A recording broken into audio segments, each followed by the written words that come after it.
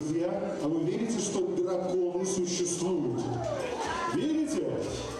Театр «Ренессанс» вам это сейчас докажет. Как приручить дракона. Это мультфильм, который одновременно учит быть добрее, внимательнее к своим отстаивать свое мнение, быть не таким, как все.